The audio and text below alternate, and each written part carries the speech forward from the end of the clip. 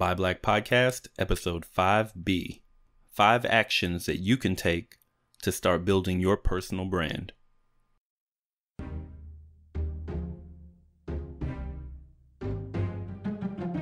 Welcome to Buy Black, the only podcast dedicated to helping you find, connect with, and support black owned businesses. We're on a mission to bring consumers and business owners together to ignite the global black economy. I'm your host, Gerald Jones, and if you're a black business owner or a socially conscious consumer, you've joined the right community. Ready? Let's get to work. Hey guys, welcome back to Buy Black. Today we are going to be expanding on a little tidbit that my guest earlier this week, Brandon Campbell, mentioned a few times during his episode. Uh, if you haven't listened to episode five with Brandon from Little Rock Fashion Week, you definitely need to do it. He drops nothing but bombs all during the show. You can find that at buyblackpodcast.libsyn.com.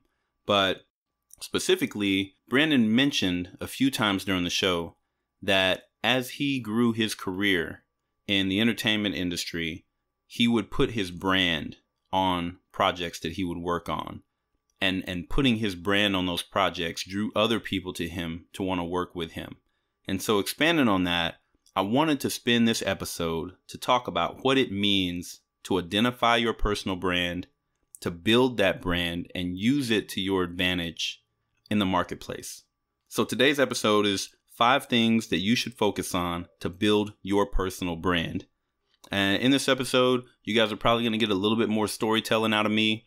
Um, the only thing I can talk about is my own experience in building my personal brand in the different markets that I work in. And so I'm going to tie in a lot of the things that I talk about with my story and my experience. But this applies to everybody. It applies no matter what market you work in, no matter how you plan to use this information, it applies. So, in places where I'm talking about my story, try to think about times or events in your life where you've either been able to focus on your personal brand or where hey, if you had known or focused on your personal brand in this situation, you could have put yourself in a better spot so that you can plan on the next time being able to do that. All right, so what we're going to do today is basically I want to define the concept of what a brand is. We're going to talk about why you need to see yourself as a brand and market yourself as a brand. And then we're going to talk about those five things that you should focus on in order to start building your brand. So, the first thing here, let's just jump right into it defining the concept of what a brand is. Normally, when people talk about a brand, the first thing that comes to your mind is what? You're thinking about a logo, usually, right? A lot of times people talk about branding. The first thing they want to talk about is something like a McDonald's or Apple or something like that. And they always tie it back to the logo or they tie it back to a song or something catchy, right? That's what we think about branding. But a brand isn't a logo, it's not a visual. A brand is a feeling, okay? Your brand is a feeling. Specifically, it's a feeling that people have inside themselves when they hear about you, when they see you, or when they see or think about anything that is specifically related to you. That's your brand, okay? In essence, your brand is the thing that people are saying about you when you're not right there to hear it.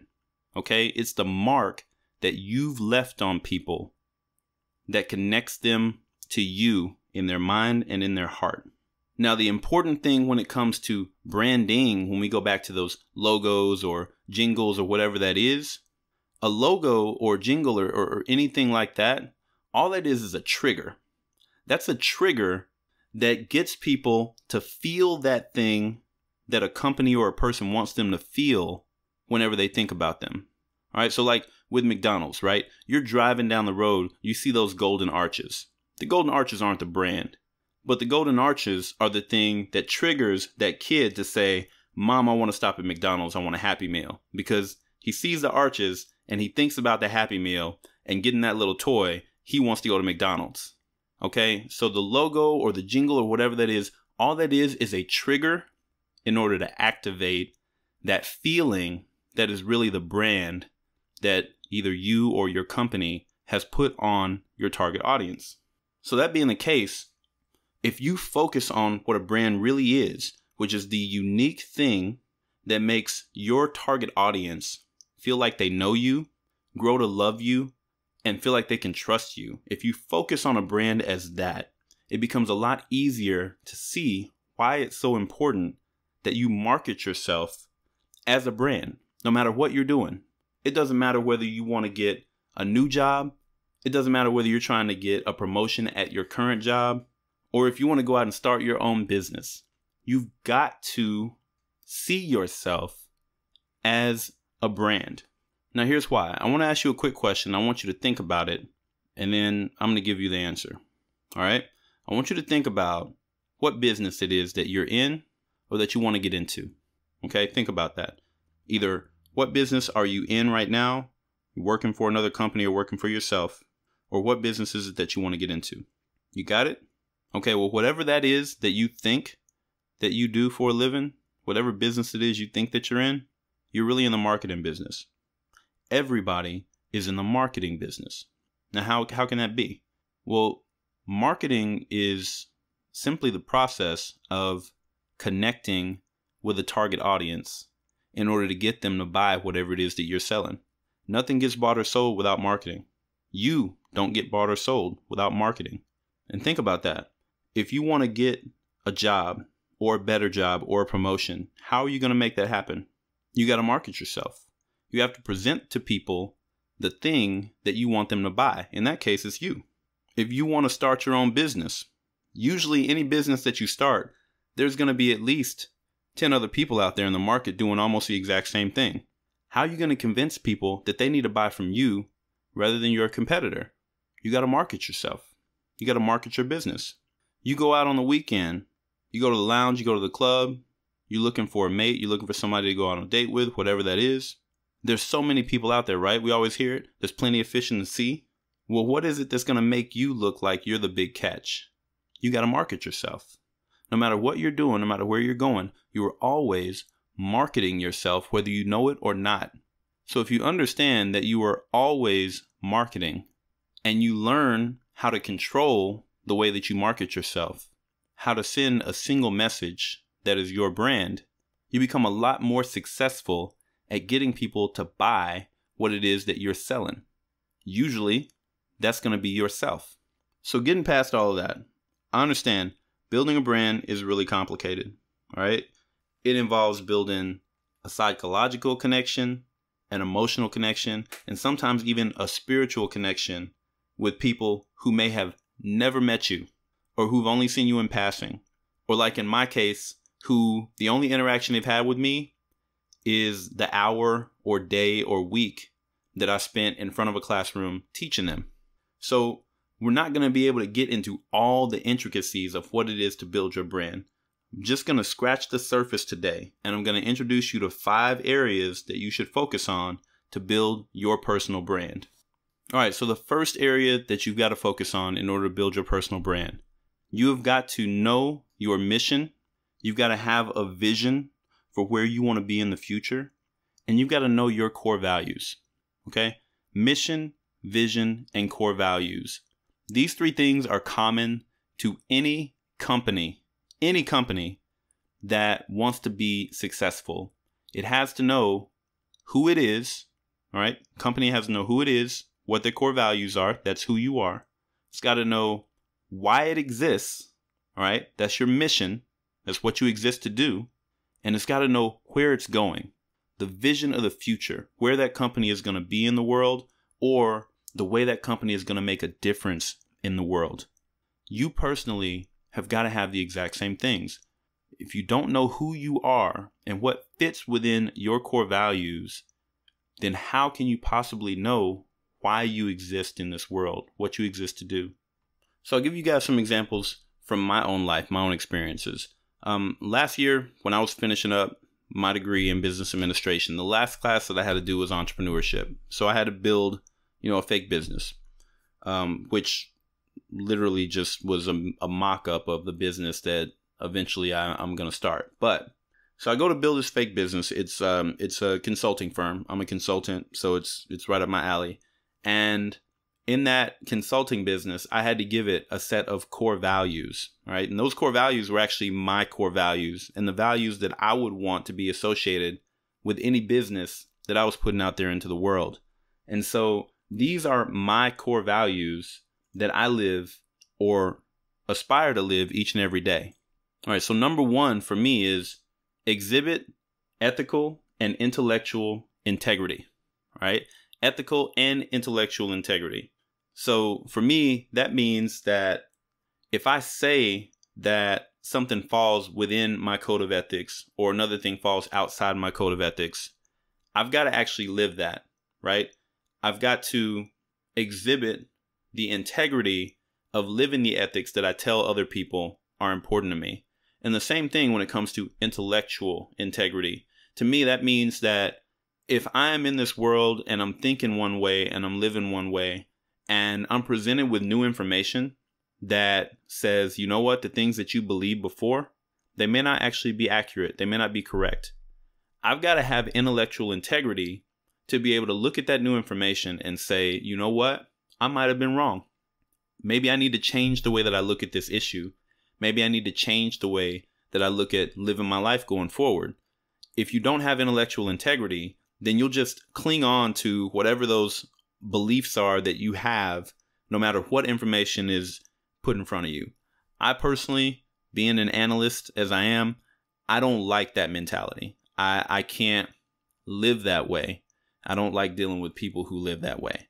And so I want to make sure that whenever I'm presented with new information, if I can do the research and I find out, you know what, this is right, what I thought was wrong, that I can have some integrity and say, hey, I didn't know what I was talking about. I was wrong this is the new way that I look at the world based on this new information.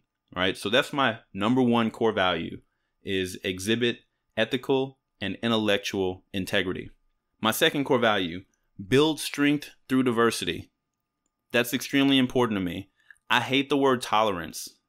I hate it because to me, if you're saying that we need to tolerate each other, all you're really saying is that we need to hate each other, but just deal with it right? There's no need for me to actually care about you and learn about what makes you different from me. All I got to do is just deal with the fact that this person I hate is over here and not say anything about it. Like to me that's that's not that's not strength, right? That's not something that's going to make me a stronger, better person. I want to build my strength through diversity by learning about people who are different from me and not just accepting their differences, but really wanting to find out what is it that you know or that you've experienced that I haven't that can make me stronger and make me better in my world for having learned it. And so, build strength through diversity is my second core value. Third is listen for understanding. Whenever I'm in a conversation, I want to listen so that I can understand what the other person is trying to convey, not just wait for my turn to talk. Again, it's a matter of wanting to build my own personal strength. It's a matter of wanting to respect the other person who I'm in a conversation with. And so, listen for understanding is my third core value. Next, practice innovative entrepreneurship. That one speaks for itself.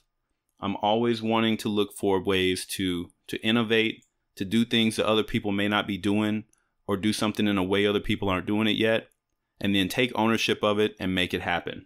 My next core value, model the behaviors that you want to see in others. And that goes right back to my ethical and intellectual integrity. If I want people to have ethical integrity or intellectual integrity, I've got to be able to model that myself. If I want people to listen for understanding, I've got to model that myself. All right, my next one love people and lead from your heart. This is actually a core value that I didn't even realize I had until I had a um I had a platoon commander when I was in the Marine Corps. Uh, no, it wasn't. It wasn't my platoon commander. It was actually my company commander. It was um it was Major Coward, and uh, I was being promoted. And during my promotion ceremony, from lance corporal to corporal or corporal to sergeant, I don't remember which one it was, but he was coming to pin on my rank, and Major Coward said to me, I was I was getting promoted to corporal I know I was because he was talking to me about becoming an NCO.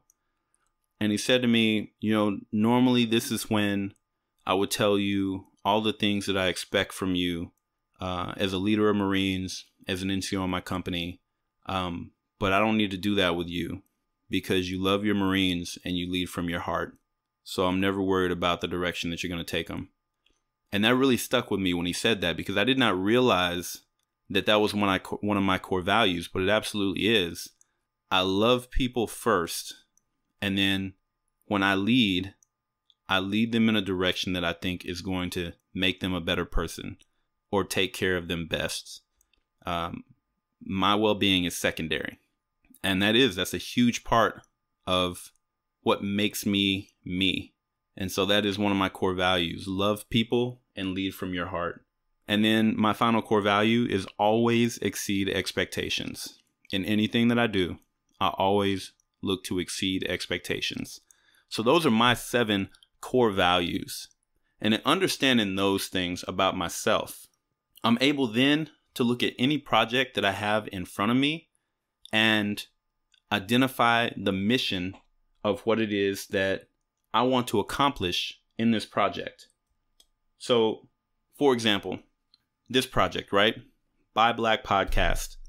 Um, I told you guys in the very first episode what the mission of this project is, but I will give it to you again here. All right. So the mission here is to be the beacon that draws consumers and business owners together to ignite the global black economy. That is the mission of this project, right? That's my mission when I'm doing everything that has to do with Buy Black Podcast. And that mission definitely fits within my core values. And so I know who I am and I know how I have to work and apply myself in order to accomplish this mission in a way that honors the core values of who I am and who I want the world to see me as.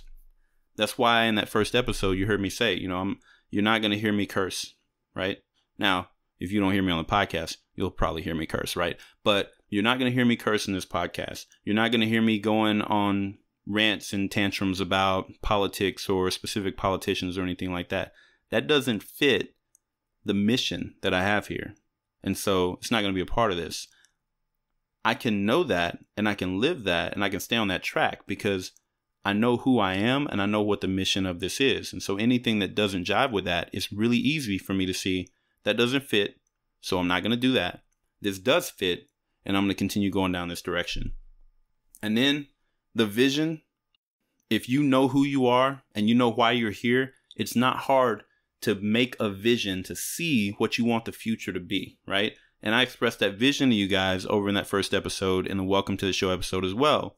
You know, I see a future where the black community in the United States and globally is in a position where it has taken ownership economically, literally taken ownership of its economy and then put itself, ourself, in a position where we don't have to ask anybody for anything. We don't have to beg anybody for a seat at the table.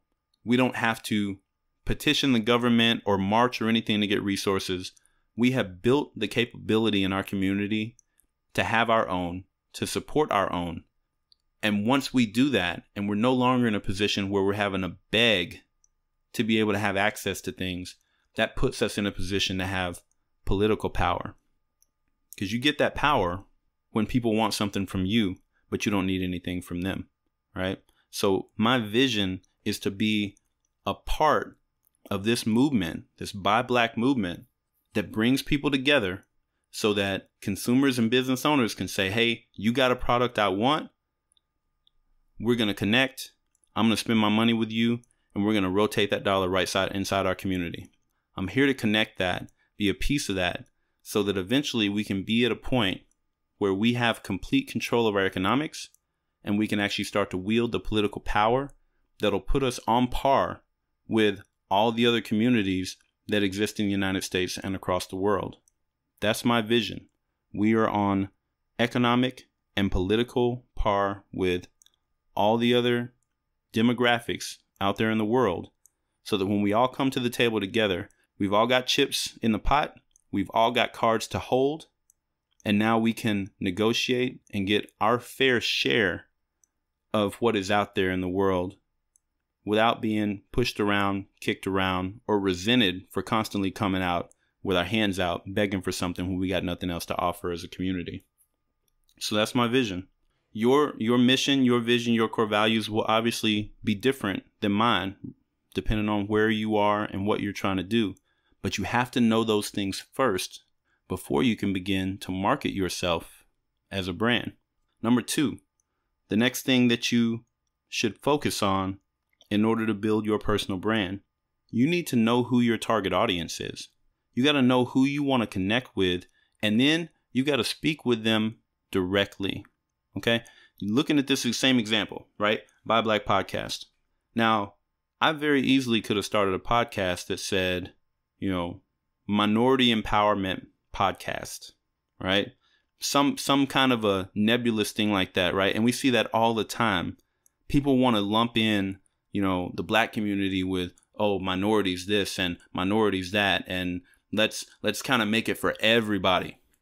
Problem with that is that when you make something for everybody, then it becomes for nobody. Then anybody can come in and say, "Oh, well, I'm a minority. So, yeah, this is for me as well." And what tends to happen with that, because we've seen it over and over and over in the United States, is that as soon as you put the word minority on something, every other demographic somehow finds a way to get themselves branded as a minority. And then they start taking advantage of these programs and this access, and the black people still get pushed out to the side. We still don't get access to it. So when you're going and you want to connect with a specific group of people, don't be afraid or ashamed to know exactly who your target audience is and speak directly to them.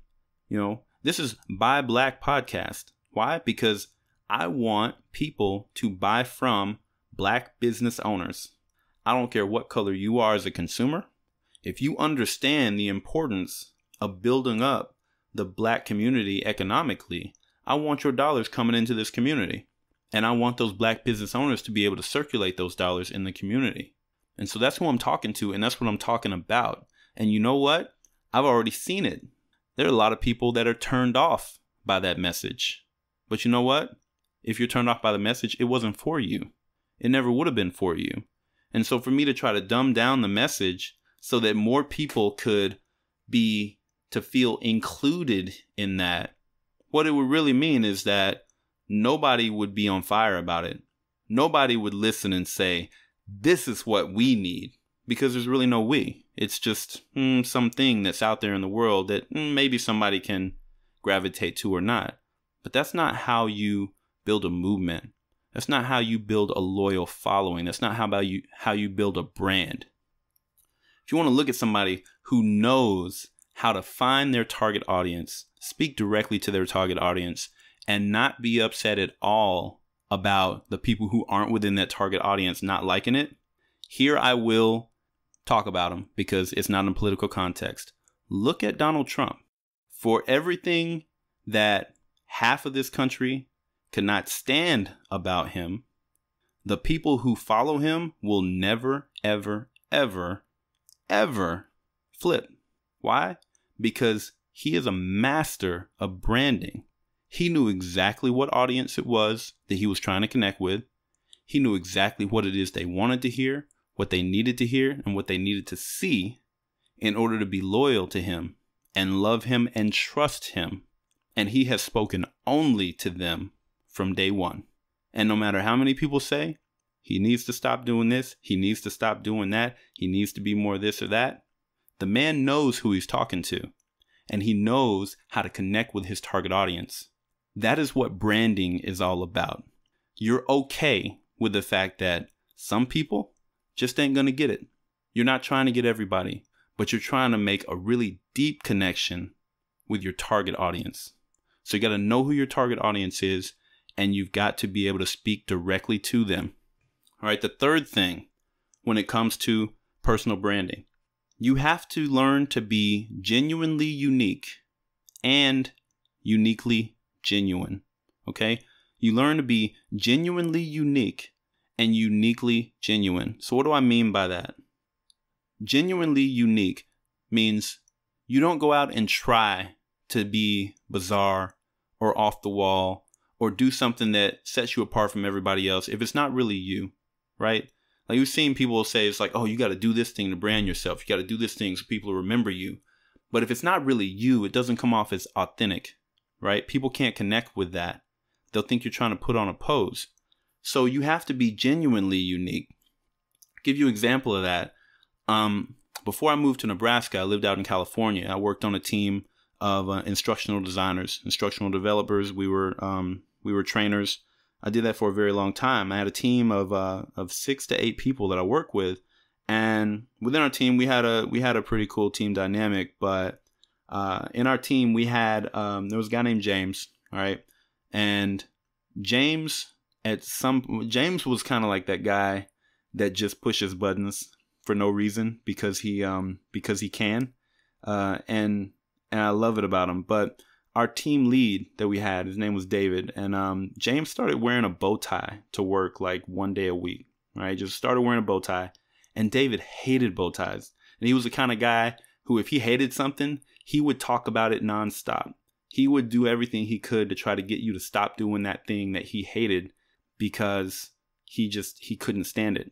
James found that out. He started wearing bow ties twice a week, right? And so then David got even more angry about bow ties and he got more vocal about bow ties. So what do you think the rest of the team did? We all started wearing bow ties at least once a week. Started turning into bow tie Thursdays. Every Thursday, everybody on the team was wearing bow ties, except David, of course. He hated them, but it was just so funny seeing him get so riled up about the bow ties. Now, I personally also hated bow ties at the very beginning, and I kind of talked bad about them. But then when I saw how bad David hated them, I was like, oh yeah, I got to jump into this. And you know what happened? Uh, I started loving bow ties. I started loving them so much that I started buying more bow ties than I had regular ties. And it ended up that I had like 10 or 15 bow ties that were in rotation. And the trend faded and people just started wearing regular ties, but I didn't stop. The bow tie became my thing, not because I wanted other people to see me in it, but I liked the way I looked in them. And so I was the bow tie guy everybody had gone back to wearing regular ties. I'm every Thursday, maybe twice a week, I'm wearing a bow tie every week. And I looked that gun good in them. And I was doing it for me. And that's the, the genuinely unique thing. I kept wearing them not because I kept wanting to get a rise out of this guy, but because it really made me feel good to wear those bow ties with my clothing every week. It became part of who I was. And it was like that for a few years. So eventually, you know, I'm, I moved away from that team um, and that location, but I still go out there to that um, to that base to to do work occasionally, and it never fails. It's been years since I lived out there, but whenever I go back, people see me. They're like, "Oh, Juro, where's the bow tie?" Oh man, I'm just you know, either I'm in uniform or you know I'm just in regular civilian clothes. Just like, oh yeah, you know I I don't really do the bow ties that much. I don't like to dress up anymore. It's like, oh man, I miss the bow ties. Blah blah blah blah. Everybody misses the bow ties, but they remember that, right? I was the teacher who wore the bow ties. I was the guy who wore the bow ties. I was the bow tie dude. And it wasn't just that I wore bow ties, but I was also really, really good at my job. So you've got to have that as well. Your brand has to be tied to you being really good at something too. So let's not leave that out. But that one little thing, that one unique thing about the way that I dressed made an impact on people and it was instantly recognizable. When people see my face, they thought about that, right? I'd get people sending me on Facebook and in text messages pictures of bow ties that I might want to buy. So, I mean, it was just one of those things that left a mark on people about me. And then when you talk about flipping that around and being uniquely genuine, all right, whatever it is about you that is genuine, don't dumb that down. Right? Don't don't try to blend in with everybody else when it comes to anything from your own personal values to the things that you expect from yourself or from people around you. Be uniquely genuine in the case of something like, okay, for me, one of the things about me that is very, very important is to always be willing to tell somebody the truth that they don't want to hear. Right? Even when that truth could make them angry, even when that person is in a position of power over me, whether it's in a job or in the military or wherever, if they need to hear a truth that other people won't tell them, I always feel like it's my job to tell them that, to be honest about it, not to be mean about it, not to whine and complain, but to be like, hey, this is the situation as it is, and here's a way that I think you can fix it. Or here's two or three ways that I think you can fix it. To me, that is extremely important. That is being genuine to me. And not everybody works that way. That is one of those things that is uniquely genuine about me. Whatever that is about you, whatever it is in your life that is true to you, that you need to share with other people, share that. Share that thing that other people won't share. Be that person that other people won't be, whether it's out of fear or because they just don't have it in them to be whatever that is. That unique thing is going to also make people remember you. Some people will like it, some people won't. But remember, your target audience are the people that you need to worry about. Everybody else, they can think whatever they want. But you got to know who it is that you're trying to connect with. All right. And so, a few things to think about when it comes to being genuinely unique and uniquely genuine. You've got to always think about, you know, one, what is your image? What is your professional image? What's your pers- personal image? What do you want people to see that is going to um, communicate that that to them about you. Uh, the second thing is consistency, right? You want to be consistent in your approach to life, in the way that you present yourself to the world, and in the way that you interact with people, whether they know each other or not, whether you interact with them one time or a hundred times. You want to put the same image out there into the world with every single person you run into. And you think about this with branding, right? When you're branding yourself, and you're interacting with different people in the world, eventually people who didn't know each other before are going to run into each other and they'll both know you. And if those people who never met each other have the same things to say about you, who've experienced the same things with you, and they're talking to each other around other people, they are spreading your brand without you ever having to be there. Remember, I said your brand is what people are saying about you when you're not there to hear it. So if you are consistently putting out the same message into the world about who you are, you are creating those evangelicals who are out there and spreading the good news about you and what you bring to the table. Okay? So be consistent. The other thing that you want to look at is your creativity. What is it that makes your ideas different? What are you bringing to the table that other people aren't bringing in whatever space it is you're working on? And then the last thing is your credibility, which goes back to your consistency, right? Credibility all, all ties back to being genuine, being genuine. If you want to go deeper into all these aspects of what it means to to build yourself up genuinely to know what your brand should look like, um, there is an incredible reference out there in the world. It is actually called the Complete Guide to Building Your Professional Brand. You can find that at www.quicksprout.com slash the complete guide to building your personal brand. And I'm going to put a link to that website into the episode description. It's written by Neil Patel and Aaron Agius is how I have to pronounce it, but it is incredible. I'm actually going through it right now and taking notes and basically using it like a course because it's multiple chapters to help me to build out how I'm going to brand this podcast as we continue going forward and other projects that I'm working on. So if you want to dig deeper into this stuff outside of the podcast, that is a great reference that's already out there in the world that you can get to and you can actually use that thing like your own personal course. All right, so getting back into it, we talked about know your mission, vision, and core values. We talked about know who you want to connect with and speak directly to them. So that's your target audience. And then the third one, be genuinely unique and uniquely genuine. Now, the fourth focus area for building your personal brand, go out of your way to serve other people and then go the extra mile. Go out of your way to serve other people and then go the extra mile. Now, this is huge for building your brand, especially now if we're thinking about, hey, if I'm out and I don't have a job, or I want to get a promotion at my job, or I'm looking to connect with a different job. Sometimes the only thing that you got is the ability to give yourself away, right? Whether it's your time, whether it is your your energy, whether it's your skills. If you want to go out and you want people to want you to be around, if you want them to associate you with a person that they want to have around, give of yourself, right? Look for ways to give them what it is that you bring to the table. And then when you get those opportunities, go all out, go the extra mile. Make sure that you are always exceeding expectations, as one of my core values is.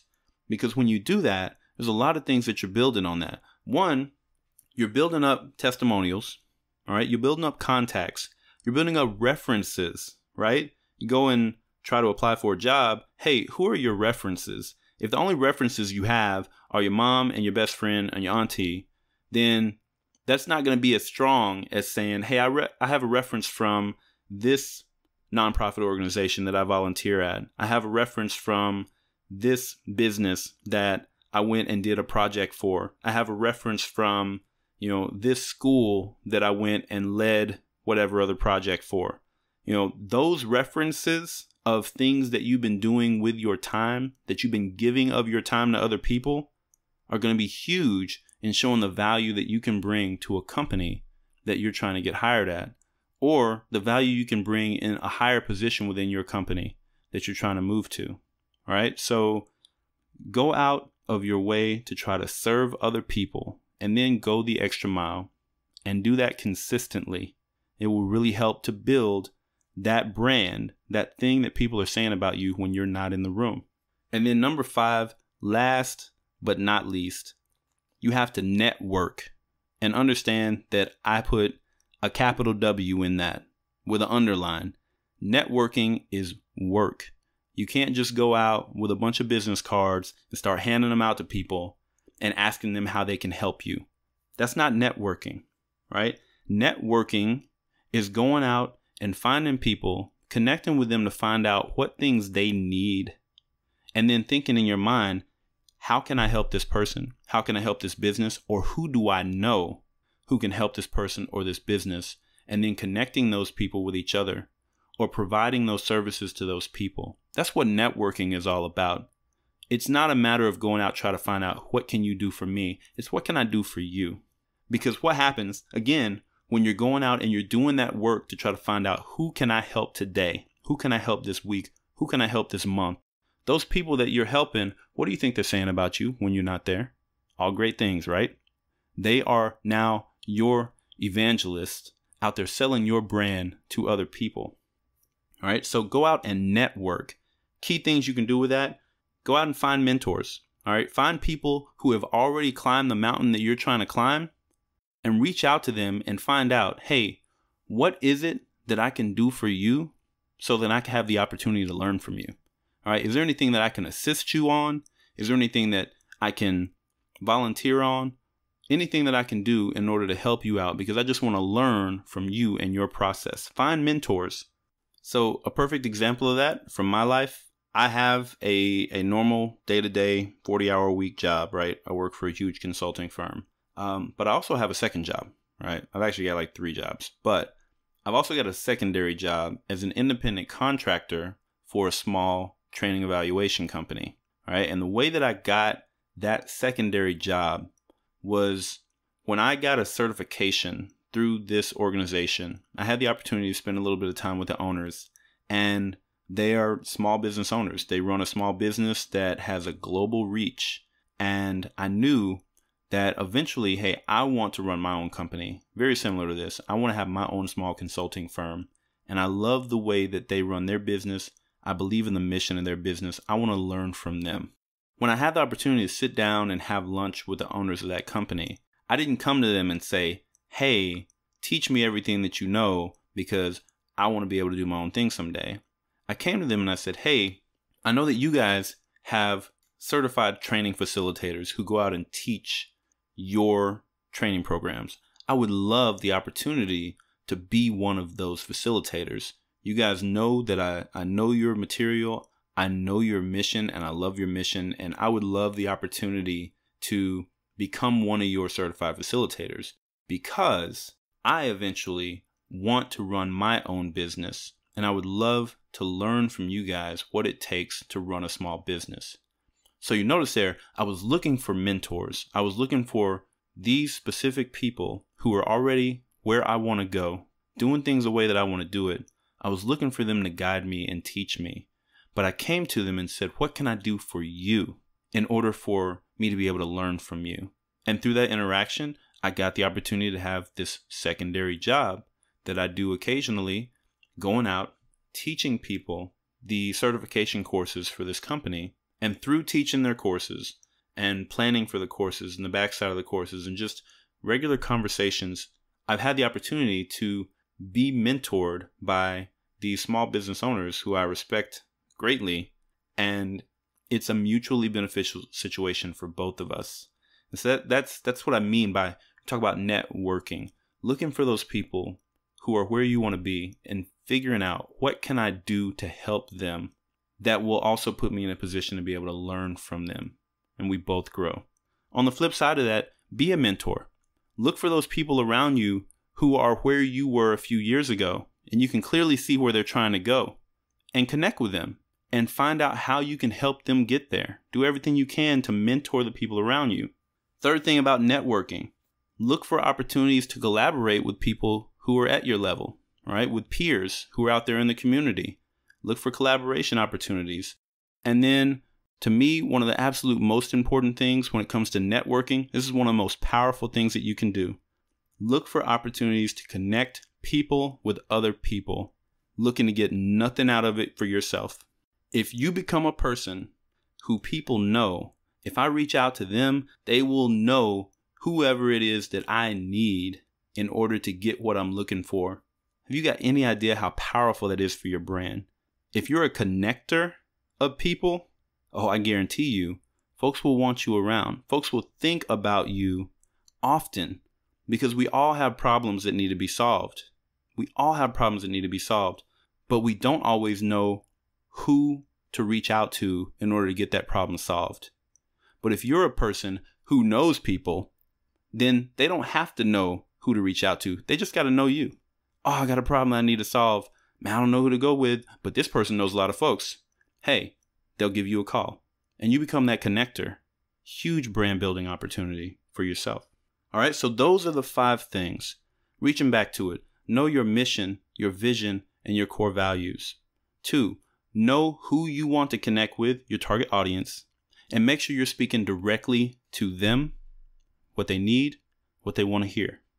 Three, be genuinely unique and uniquely genuine. So that means genuinely unique. Do things that are a little bit different, but are true to your personality that are going to set you apart from the crowd. And then uniquely genuine.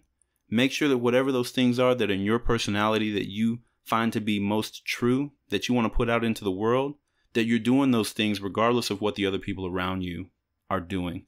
Both of those are going to make you memorable to the people who you want to connect with, that target audience. Four, go out of your way to serve other people and then go the extra mile. And last but not least, net work. Put in that work. All right. As I said before, if you want to dive deeper into building your personal brand, Neil Patel and Aaron Agius have this incredible complete guide to personal branding. It is at quicksprout.com. I've got the link in the episode description. And beyond that, guys, that is it. If you have any questions about personal branding, if you want to talk to me about that, absolutely reach out. But I'm going to close this show out and I'm just going to ask one thing of you today. All right. I'm not going with the give me the reviews and go to the community and do this and do that. All right. I just need you guys to do one thing for me. All right. If you found the information in this episode useful, I want you right there on your phone, right there in your podcast app, just go to the share function. That's all I want you to do. And if it's Twitter, if it's Facebook, whichever one of those it is that you use most, share this episode on your Twitter page or on your Facebook account. Make sure you tag me at Buy Black Podcast in that share so I know that you guys are out there. And if you want to give me a little quick blurb, I'm all about getting a little bit of accolades on social media as well. All right. So just go to the share button, click that share button for Facebook or Twitter. Tag me at Buy Black Podcast, and I'll really appreciate it. That's all I got for today. Thanks for listening, and I'll catch you guys in the next episode. Thank you for being part of the Buy Black Podcast community. If you've enjoyed today's show, be sure to leave us a five star rating and review on iTunes. Join us next time for another empowering episode. If you're a black business owner anywhere in the world, I want to help you connect with more of your target customers. To get your business in our online directory and find out if you qualify to be featured on the show, send us an email at connect at buyblackpodcast.com or you can reach me, Gerald Jones, directly at gjones at buyblackpodcast.com. I look forward to hearing from you. Thanks for listening, and I'll talk to you soon.